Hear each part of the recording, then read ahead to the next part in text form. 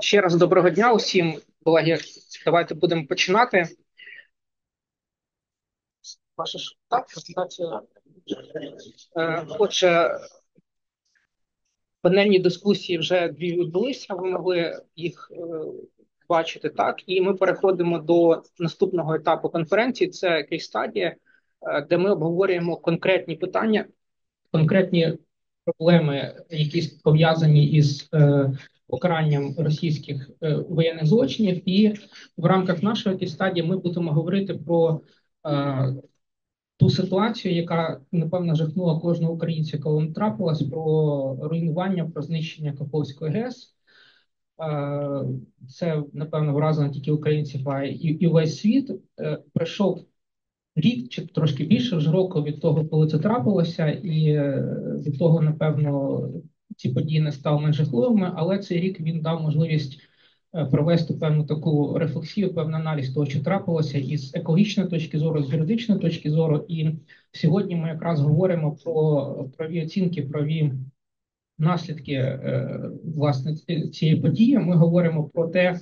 Хто і за що повинен підлягати кримінальній відповідальності, і сьогодні ми е, маємо можливість е, почути чудових експертів, Е, які надзвичайно заглиблені в цю тематику, тому що разом з своїми колегами вони підготували звіти, які стосуються подій пов'язаних із знищенням Каховської ГЕС, і відповідно ми можемо почути детальний аналіз тих власне тієї шкоди, яка була спричинена наслідок знищення гідроелектростанції, і ми так само можемо почути про оцінки, можемо почути про те, які конкретно воєнні злочини криються за цими подіями, е, які перспективи притягнення до відповідальності винних.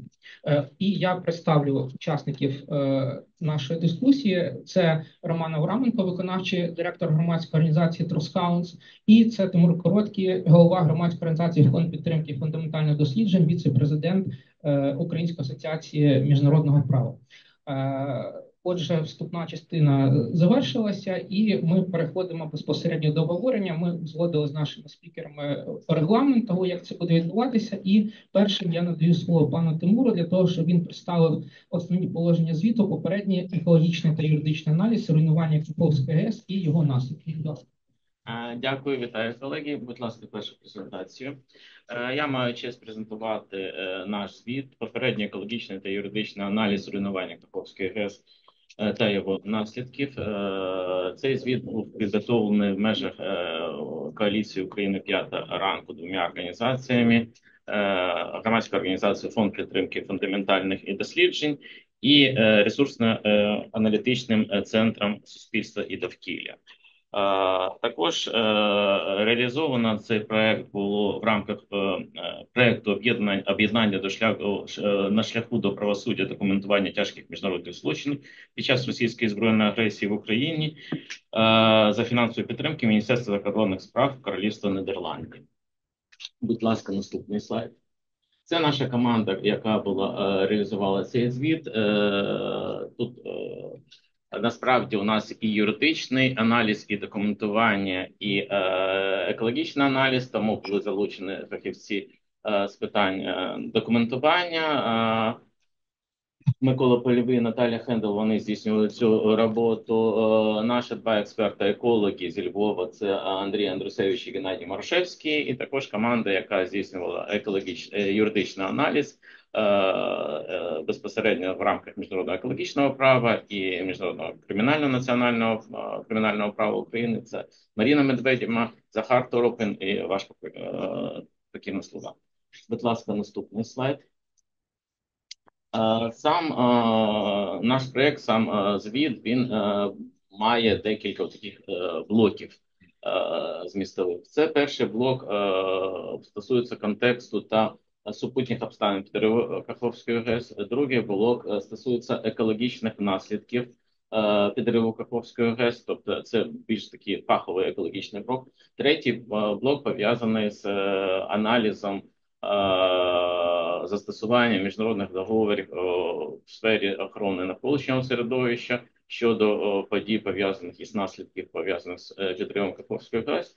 І це такий блок дуже ексклюзивний, бо небагато саме надається аналізу через призму екологічних договорів. І третій блок більш класичний це аналіз подій через призму міжнародного кримінального права і міжнародного національного кримінального права. Будь ласка, наступний слайд. Ну, перший блок він стосується контексту і супутніх обставин підриву Каховської ГЕС. ГЕС він включає загальну характеристику Каховської ГЕС, вплив ближче, вплив на формування екосистеми і вплив на формування екосистем України в Азово-Чорноморському басейні. Також ми аналізували обставини окупації та контекст підриву Каховської ГЕС і безпосередньо події, які пов'язані з підривом і наслідками підриву Каховської ГЕС. Будь ласка, наступний слайд. До яких висновків ми дійшли? По-перше, з приводу значення Каховської гідроелектростанції та Каховського водосховища для соціально-економічного Значення для півдня України це е, як основна частина е, Каховського гідроузла, значний внесок в екосистему в енергосистему України, як джерело питного водопостачання, е, як основа водозабезпечення засушливих районів і як основа для ведення рибного господарства. А також велике рекреаційне значення. Також ми аналізували окремо екологічне значення Каховської греблі і гідроелектростанції. Е, е, що вони забезпечують існування Каховського водосховища з власною екосистемою та навколишніми прибережними екосистемами, як е, формування для формування характера річки Дніпро нижче по течії. Е, тобто, це дуже важливий е, такий попередній аналіз, пов'язаний з е, аналізом наступних наслідків підриву Каховської ГЕС. Далі ми аналізували питання пов'язане з окупацією і контролем російських збройних сил над Каховською ГЕС, і дійшли до висновку, що вони використовували гідроелектростанцію у військових цілях, тобто розміщення командних пунктів мінування Каховської ГЕС, і вони не вживали заходів для забезпечення належного стану Каховської ГЕС. Це також є порушенням норм міжнародного гуманітарного права. При цьому здійснювач, здійснювачі контроль над Каховською ГЕС російські військові демонстрували можливість створення техногенної катастрофи з використанням небезпечних сил. І е, вже е, окремий аналіз наслідків е, підриву Каховської ГЕС, е, масштаби руйнувань та обставини вибуху свідчать про єдину можливість вибуху та руйнування внаслідок мінування значної кількості вибухівки, розміщених в конкретних елементах греблі Каховської ГЕС. І наявні факти, які ми дослідили, вони свідчать про єдину причину вибуху. Е, та наступного руйнування греблі Каховської ВЕС навмисний підрив її російськими збройними силами. Дякую. Наступний слайд. Окремий аналіз ми проводили. Екологічних, це наші екологи, проводили е, екологічних наслідків е, підриву греблі Каховської ГЕС. Він був дуже комплексний, включав всі аспекти пов'язані з впливом підриву і його наслідками для довкілля е, і для рекреації, і для е, існування екосистем, для флори, фауни, для гідрорежиму. Будь ласка, наступний слайд. І наслідки, до яких е, дійшли наші екологи. Тобто, це питання затоплення значної кількості земель, що призвело до деградації ґрунтового покрову, осушення водосховища та припинення зрощення зрошення е, спричинене зниження е, ґрунтових вод, е, засолення ґрунтів, зниження продуктивності ґрунтів. Це потрапляння у Дніпро значної кількості забруднюючих, включно з великою кількістю нафтопродуктів. Це потрапляння цієї води в чорне і забруднення відповідно Чорного моря. Це загроза для існування більше популяції, більше 300 е, видів е, диких тварин і рослин, які мають різний правозахист, правоохоронний статус. Це е, катастрофічний вплив на популяції, що вимирають понад 20 тисяч диких тварин та 160 тисяч птахів опинились під загрозою загибелі.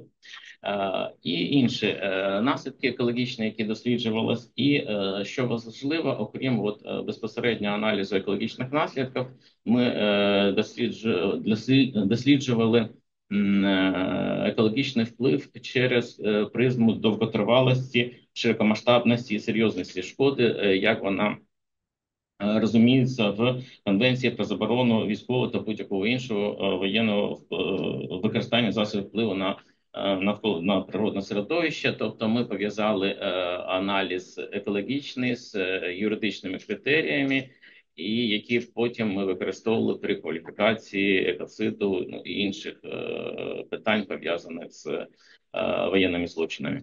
Будь ласка, наступний слайд. Це, ну, на мій погляд, такий унікальний аналіз, тому що, звичайно, він не проводився. Це питання порушення зобов'язань за міжнародними е, договорами Російською Федерацією внаслідок підриву Каховської ГЕС. І на слайді перелік міжнародних е, договорів він не повний екологічних міжнародних договорів, які ми дослідили з приводу, які норми цих договорів були порушені. Ну і відповідно ми досліджували можливість притягнення до відповідальності держави окупанта за порушення норм цих е, договорів. Я приведу єдиний приклад. Е, він стосується конвенції про охорону е, та використання транскордонних водотоків та міжнародних озер. Росія порушила своє зобов'язання із забезпечення належного безпечного водопостачання та охорони водних прісних ресурсів та джерел питної води на підконтрольній території, як того вимагають статті 1 та 4 протоколу 99 року до названої конвенції. Ну і перш за все, ми проводили на початку аналіз, чи поширюються вимоги цих конвенцій, екологічних конвенцій, які в принципі не розраховані на умови збройного конфлікту, на умови окупації на умови е, міжнародного збройного конфлікту і дійшли до висновку, що так вони поширюються, вони не мають спеціально е, спеціальних норм відповідно, але е, держава окупант, держава, яка контролює території, на яку поширюються положення цих конвенцій, вони діють і вони зобов'язують державу окупант. Дякую. Наступний слайд. Ну і висновки цього розділу вони стосуються перш за все дії е, цих конвенцій, за їх можливості їх застосування е, для притягнення держави окупанта до е, відповідальності, але на жаль, в цих конвенціях немає механізмів, які ми можемо застосовувати з приводу. Способів вирішення спорів, тобто ми не можемо на основі цих конвенцій подати до міжнародних судів або арбітражів, бо вони по різним причинам вони не мають таких механізмів.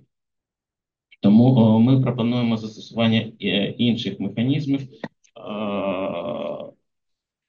Це е, використання, це е, механізми, які всі ці конвенції мають відповідні органи по реалізації цих норм.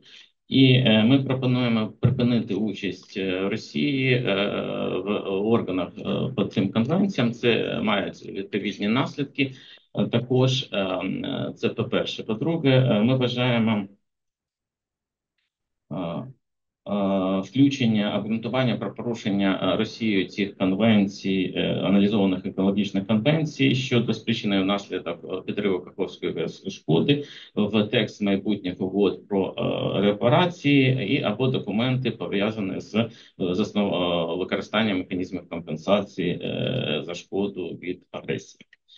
Ну і також ми Е, вважаємо, що е, доцільно е, застосування таких заходів з боку української сторони, як скликання консультативного комітету експертів конвенції НМО з метою з'ясування та оцінки фактичних обставин і наслідків підриву креблі Каховської ГЕС для навколишнього середовища, подання України скарги щодо Росії до комітетів питань дотримання Гельсінської конвенції про охорону та використання транскордонних водотоків та міжнародних озер застосування дипломатичних засобів тиску з метою ухвалення органами екологічних договорів рішень щодо обмеження чи припинення участі Росії у їх органах на зразок резолюції конференції сторін Рамсарської конвенції, створення спеціальної компенсаційної комісії, яка має матиме повноваження розглядати і задовольняти скарги, які стосуються екологічної шкоди. Тобто, ми пропонуємо конкретні механізми в рамках цих угод.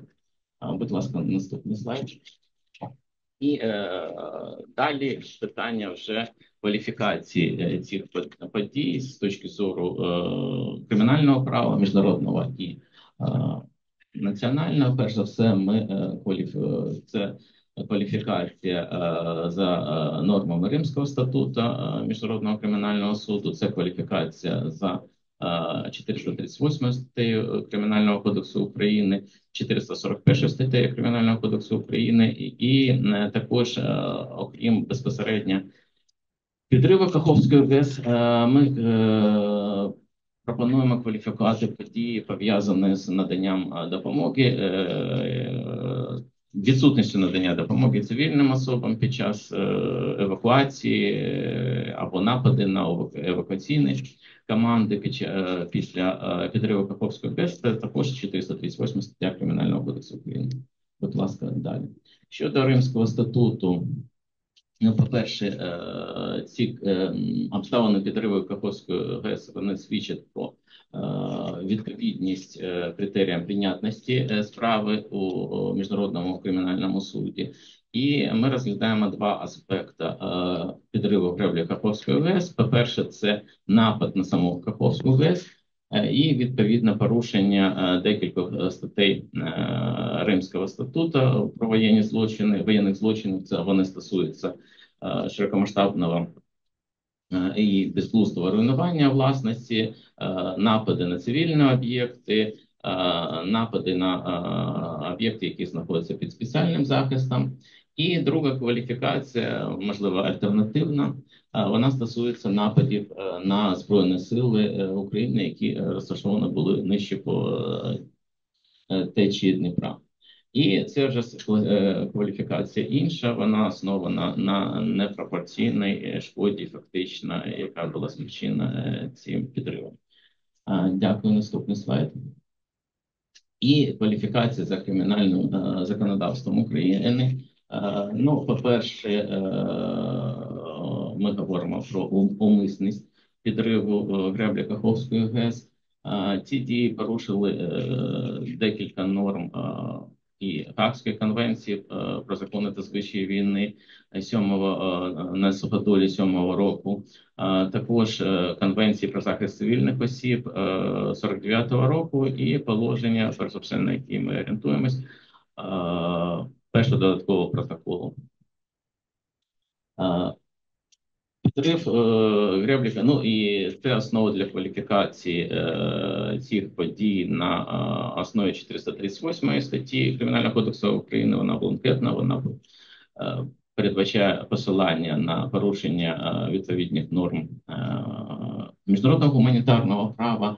І перш за все, ми спираємось, ну от на мій погляд, беззаперечною кваліфікацією, можливо, є порушення норм Женевської конвенції, 4 Женевської конвенції про захист цивільних осіб щодо широкомасштабного і безглузного совільного е, руйнування власності. Чому е, ми пропонуємо такі підхіди? Бо е, це серйозне порушення міжнародного гуманітарного права. Це норма є в переліку серйозних порушень четвертої Женевської конвенції, тому такий підхід він достатньо беззаперечний. Також це не заперечує іншим можливостям, іншим кваліфікаціям і е, розгляду підриву греблі Каховської ГЕС як нападу, але це дуже докладно досліджено у моїх колег.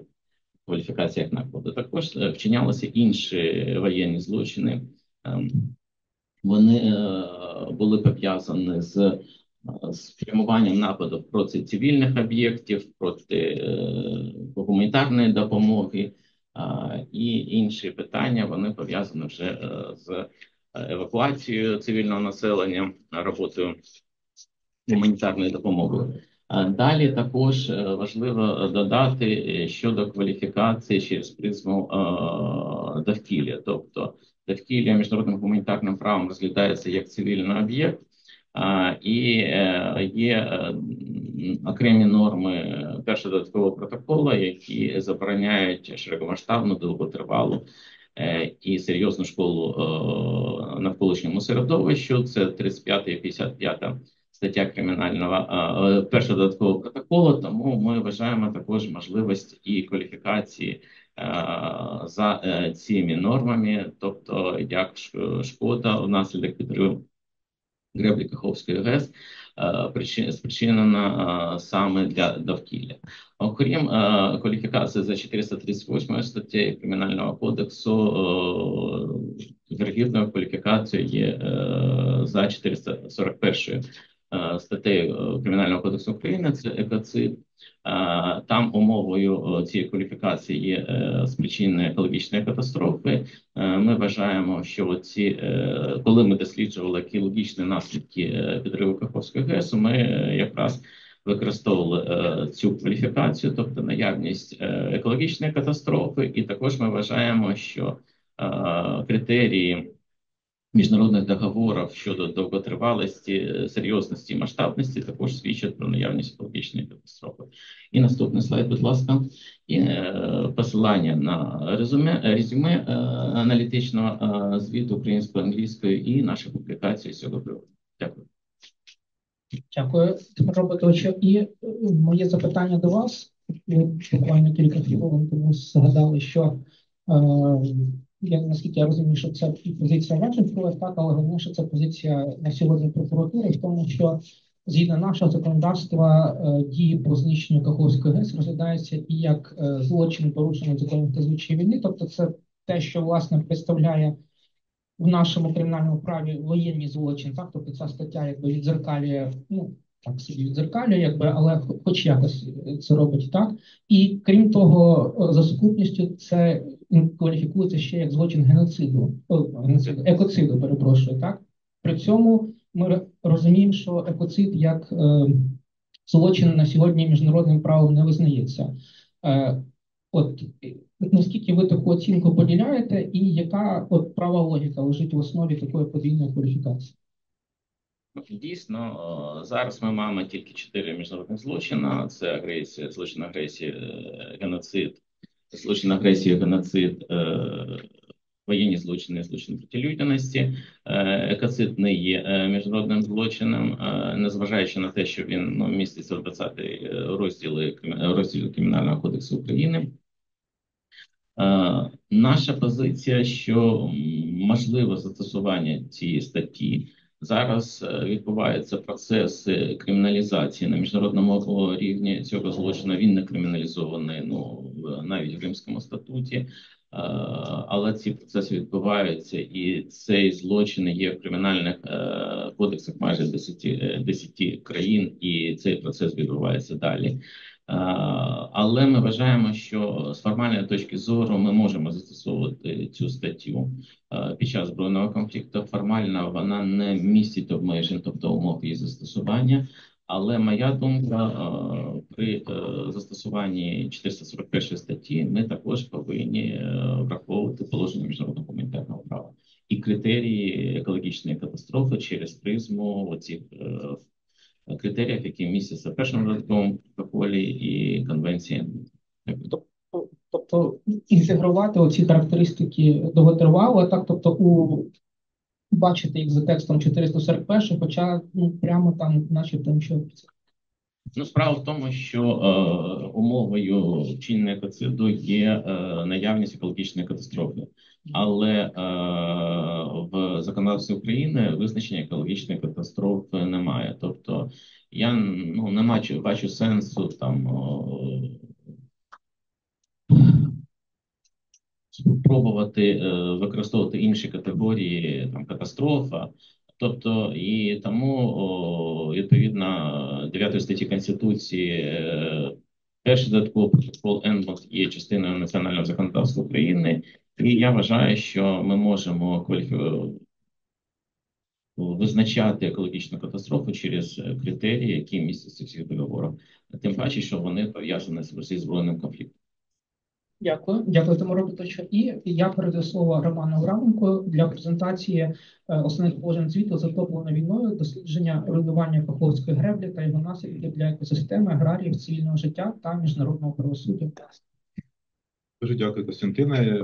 Вітання колеги. Дякую, пане Тимуре, за вашу презентацію. Перед тим як я стартую, я би хотів ще додатково прокоментувати е, запитання ваше про про подвійну кваліфікацію в українському національному е, процесі. Зараз позиція наших юристів така, що е, ця кваліфікація потрібна подвійна додавання кваліфікації за статтею екоцид, тому що у випадку, коли напад відбувся, додаткова кваліфікація застосовується, якщо вона може довнести привнести якісь нові елементи в саму справу, і в цьому випадку ми кваліфікували цей напад як міжнародний воєнний злочин проти довкілля у вигляді непропорційного нападу. Проте додаткова кваліфікація за ККУ України екоцид показує, що е, реальну шкоду було завдано в той час, як, е, по-перше, сама кваліфікація воєнного злочину не обов'язково передбачає, що точно має настати е, сама шкода, і дійсно дуже багатьох катастрофічних буквально наслідків вдалося уникнути завдяки швидкій реакції суспільства і української влади. Тобто наслідки потенційні ці цього підриву набагато перевищують в десятки або сотні разів перевищують е, ті наслідки, які ми всі спостерігаємо, які є представлені в звітах наших двох проєктів. Саме тому е, ця додаткова кваліфікація і потрібна, бо вона приносить ще додатково описану описану реальну шкоду в той час, як е, стаття в статті 8 Римського статуту, ця кваліфікація, з якою згідно з якою ми кваліфікували, вона не обов'язково е, не не передбачає, бо це не є обов'язковим елементом наявність такої шкоди. Ем, І ще дуже перепрошую всіх колег. І, е, у вас я маю 25 хвилин по другій залишити е, і їхати на іншу зустріч. Дуже за це перепрошую.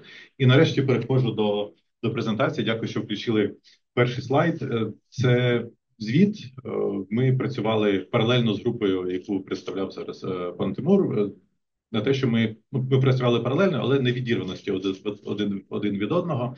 Ми зрозуміли, що у нас трохи інший фокус, і е, в результаті спільної роботи, в якої брали участь наша організація Трусхаун, це також організація Project Expedite Justice, вийшов ось звіт на 330 сторінок е, і ще сім додаткових до них е, сім додатків, на які у нас ще не виш, не було грошей, щоб надрукувати.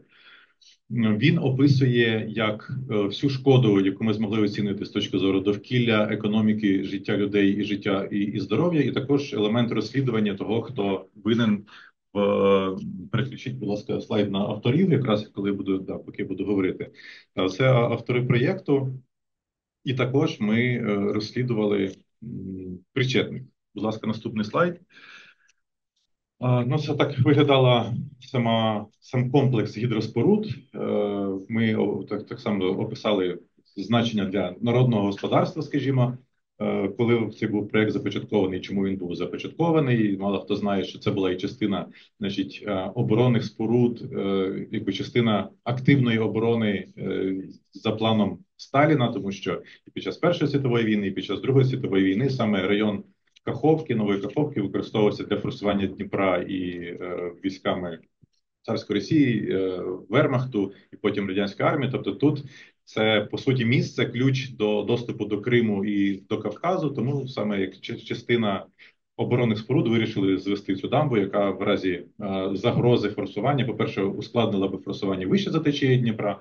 По-друге, в разі прямої загрози форсування її можна було підірвати, затопити значні території і уповільнити чи унеможливити просування армії ворога. Будь ласка, наступний слайд.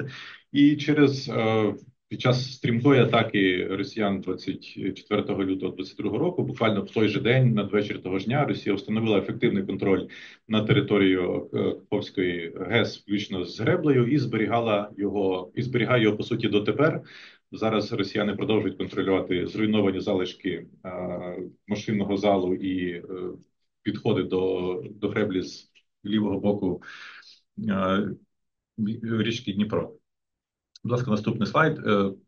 Багато було різних е, репортажів звідти. Російські пропагандисти часто включалися звідти, розказували, як е, російські солдати боронять. Вони облаштували там е, багато вогневих позицій. Ми аналізували позиції мінометні, АГСів і проти зенітних установок. Так само там були розміщені комплекси комплекси РЕБ. Це все ми робили для того, щоб довести, що Росія на момент підриву е, греблі здійснювала ефективний контроль, і він е, простягався починаючи з 22, 24 лютого 2022 року. Ми це зробили з одного боку, щоб показати контроль, з іншого боку, будь ласка, наступний слайд. Дякую е, для того, щоб проаналізувати всі можливі версії, які були тоді вкинуті як російськими пропагандистами, так і взагалі е, так такими знаними аналітиками, як, наприклад, Белінкет, Арік Толер, зокрема, зазначав, що це там би зруйнувалося через зношеність конструкцій.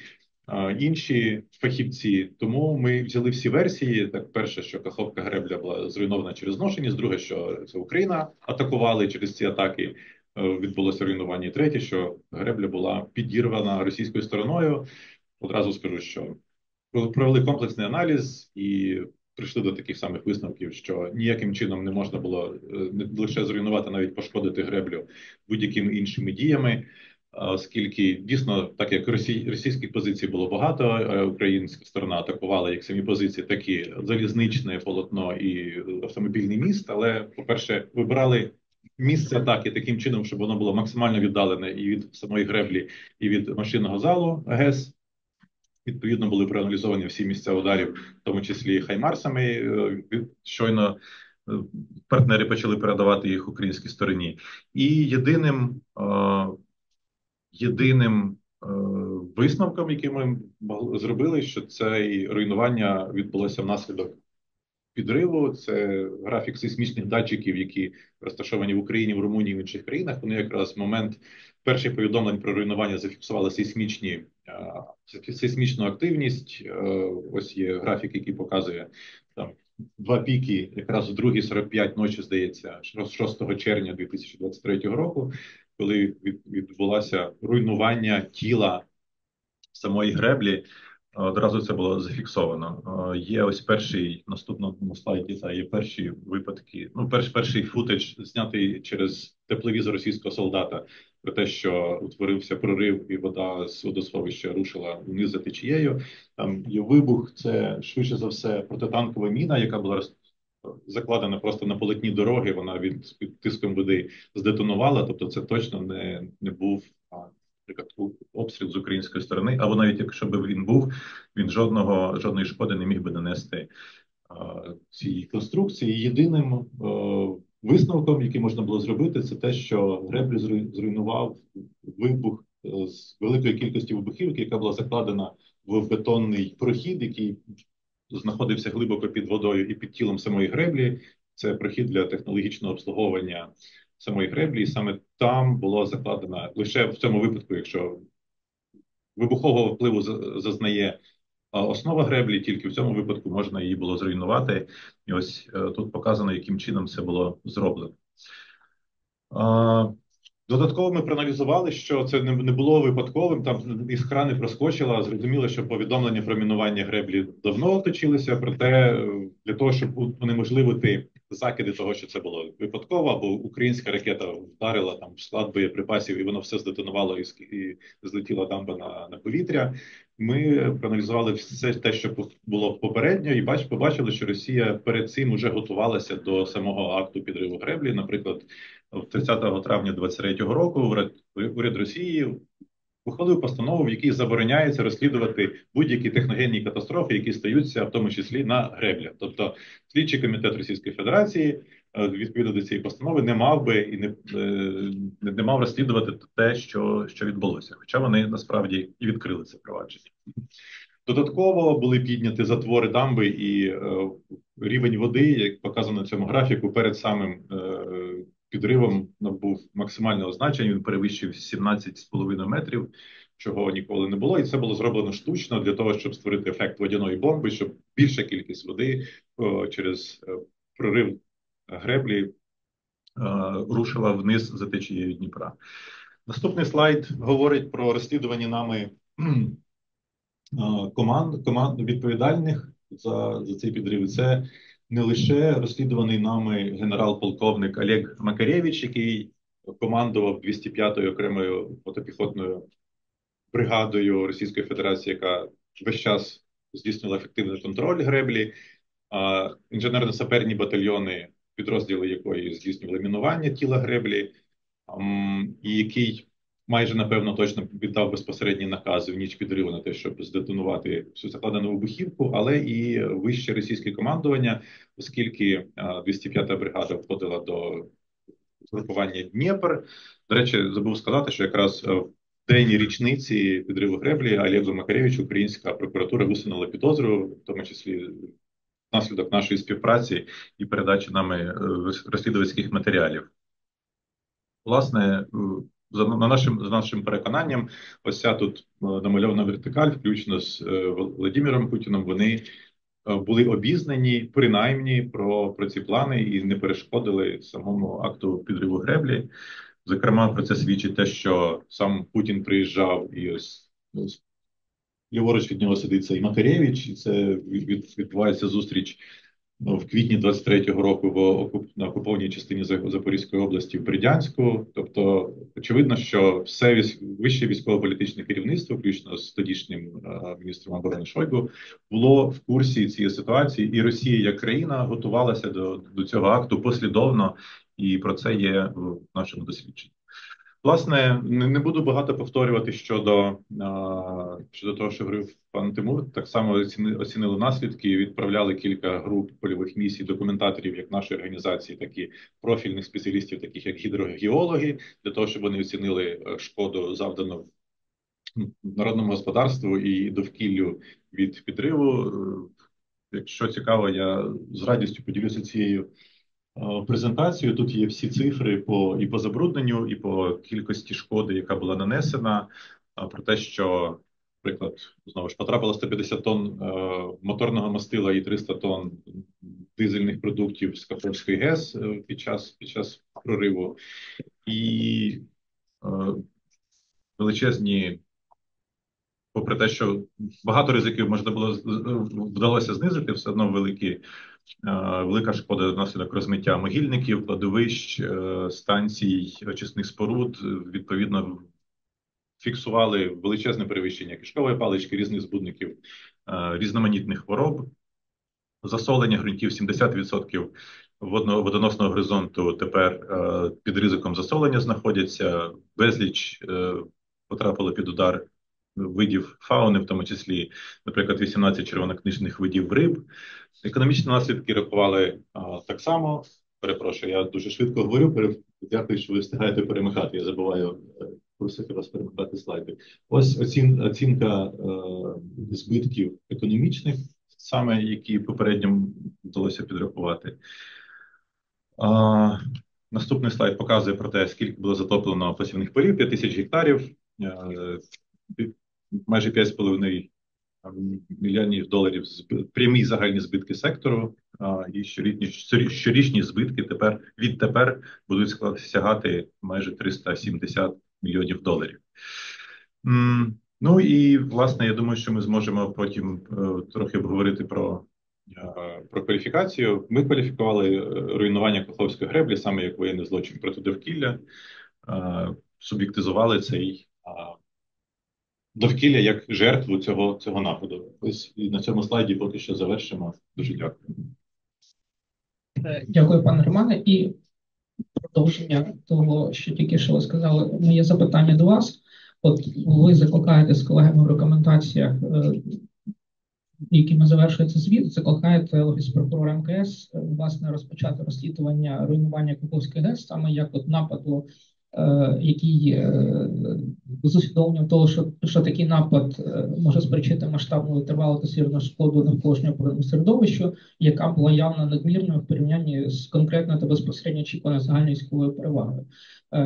У звіті тим робота, що колег через рамку Римського статуту вони бачать більшу кількість там потенційно воєнних злочинів. От хотів запитати у вас? Тобто, це ви, ви принципово вважаєте, що тут йдеться тільки про один воєнний злочин через рамки Римського статуту, чи ви тільки хотіли на ньому акцентувати увагу, але в принципі ви не включаєте, що тут можуть бути однак інших воєнних злочинів?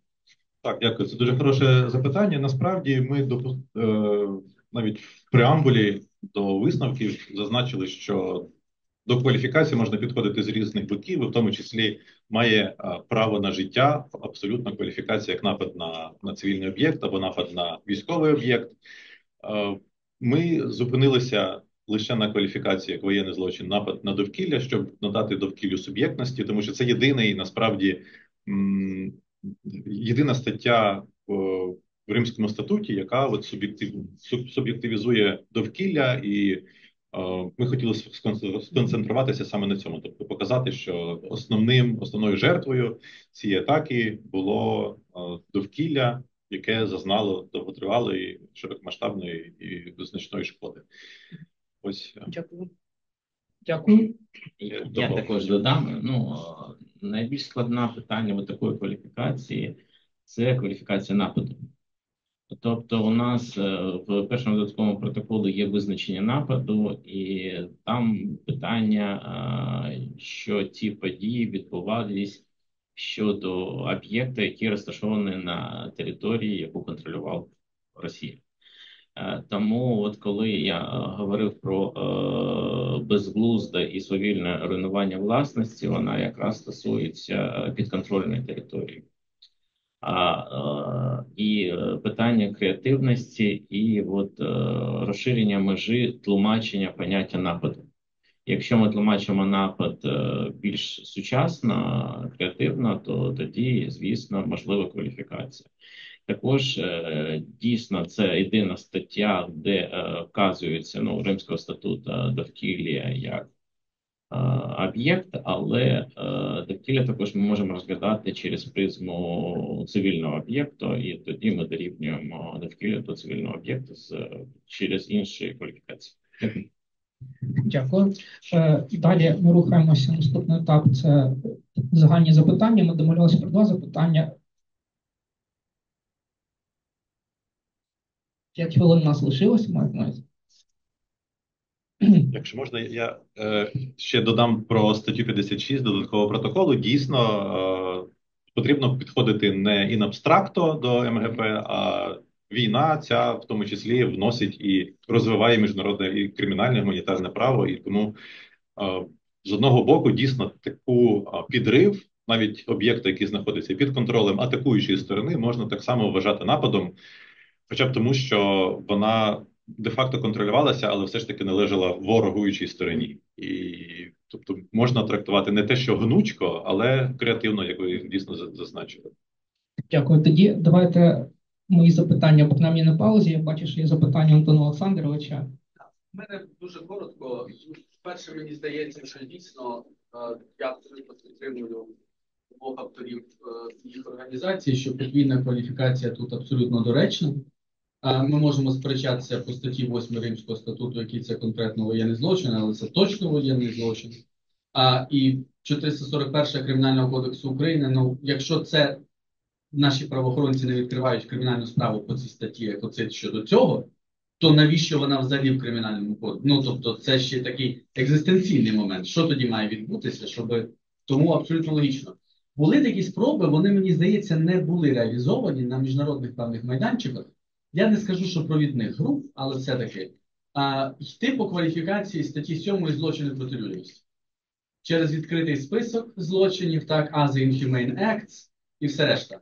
Мені видається, що це дорога нікуди, якщо чесно, але може у вас якась точка зору, що тут може і Crimes Against Humanity теж теж бути. Дякую.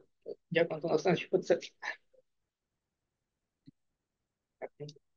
Дякую. Це було моє запитання. Придумаємо так. Так, ну я дуже швидко. Ми пам'ятаємо, що у нас немає в кримінальному кодексі злочину е, злочинів проти злочинів проти людяності, і насправді, на мій погляд, це перше, що ми повинні зробити, не чекаючи ратифікацію. І моя взагалі загалом позиція, що Е, нам ну у нас немає зобов'язань щодо імплементування Римського статуту в національне законодавство. У нас є питання удосконалення удосконалення власного, окрім якраз е, злочину проти людяності. Це по-перше, то тому мова йде тільки про е, питання Римського статуту і можливості кваліфікації е, підриву Каховської ГЕС саме в міжнародному кримінальному суді. Ми також тут такий суб'єктивний дуже фактор. Ми пам'ятаємо про консервативність судді. Тобто, от якраз з цього приводу, я думаю, що креативності майже не буде, і скоріше буде більш класичне застосування сьомої статті кримінального кодексу е, Римського статуту, і я не бачив ну багатьох майже от такої кваліфікації експертів, такої кваліфікації, як злочин проти людяності щодо підриву репліки Карповської е, ГЕС. Також я нагадую, що злочини проти людяності це не МГП. Навіть це стосується і об'єктивної сторони, так ментального, ну ментальним там умисел, але е, з приводу кваліфікації нападу, напад з повоєнним злочином, ну по МГП і напад в рамках е, сьомої статті – це різні категорії скажімо так, і тлумачиться напад в е, статті окремо. І, на мій погляд, я тут дуже багато підготувався, але е, тез, але е, головне, на мій погляд, там питання. Ну, по-перше, широкомасштабності системності контекстуального елементу злочину проти людяності, а по-друге, це питання ментального елементу. Дякую. Насправді немає чого додати. Ми розглядали серед інших, і в тому числі інші нелюдські а, дії, як злочин проти людяності, і зібраних доказів широкомасштабності могло би бути достатньо для в тому числі кваліфікації за статтею 7. Ми вирішили зупинитися як воєнний злочин проти довкілля. Дякую, пане Романе. О, Так, можливо, ще в когось будуть запитання. Зараз мікрофон.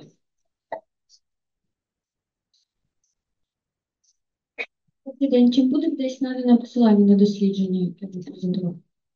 QR-код якийсь? Так, ну, звичайно, я думаю, що Яким чином це зробити? я думаю, що ви можете. Якщо є QR-код. Треба його сформувати зараз.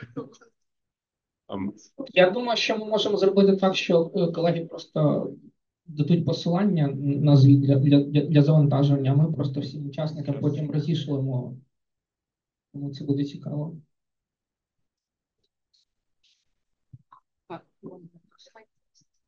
Дякую. Михайло Акімов, Національна академія внутрішніх справ. Після здійснення цього підриву ми чули багато виступів з боку різних представників держави-агресора. Давайте уявимо, що ми перенеслися в майбутнє, розглядається ця справа в суді. Сторона захисту заявляє, воєнна необхідність. Наші війська відступали, треба було відрізати наступ українських військ. Як перспективи такого захисту виглядає з вашої точки зору? Дякую, пане Михайле, за це питання. Дійсно, ми е, оцінюючи даючи юридичну кваліфікацію, розглядали, е, оскільки це воєнний злочин вигляді непропорційної атаки, то ми намагалися зрозуміти пропорцію між завданою шкодою довкіллю і е, в першу чергу довкіллю і отриманою потенційною військовою перевагою.